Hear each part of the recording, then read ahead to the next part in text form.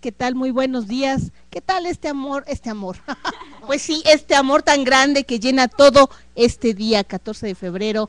Estamos celebrando el Día del Amor y la Amistad aquí en TV y con la Escuela Secundaria Técnica número 13, que nos está acompañando precisamente para platicar de el amor y la amistad y para todos aquellos Grinch que dicen I hate. Bueno, pues les vamos a platicar un poquito sobre la historia y sobre lo que se acostumbra a hacer en este día 14 de febrero entre todos los que nos queremos bien y nos queremos de verdad. Sin afanes comerciales, ya saben, den un abrazo. Con eso es más que suficiente para decirles I hate you. Y les voy a presentar a los chicos que nos acompañan el día de hoy. Tenemos de este lado a Mohamed, Mohamed Al-Azam. Muy bien. ¿Tú cómo te llamas?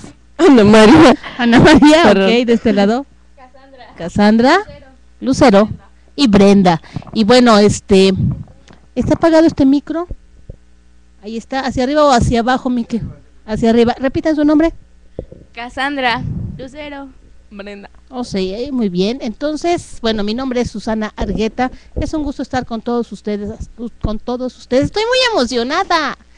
Con todos ustedes aquí en Dejes TV y le voy a ceder la palabra a Mohamed. Adelante. ¿Qué son valores, chicas? Los valores son principios que nos forjan como buenos seres humanos.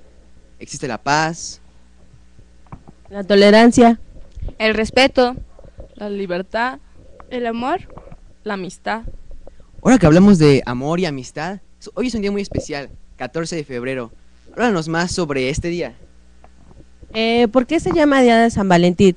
Cuenta la leyenda que un cura casaba a los a los soldados a escondidas. Entonces el rey Claudio II se lo descubrió y lo, lo sentenció a muerte. Entonces un día antes de que se muriera el de que mataran al cura, curó a la hija de un prisionero y que la que hizo que viera le devolvió la vista. Entonces decían que la muchacha era su amante del cura y que antes de morir el cura le envió una carta que decía de tu gran amor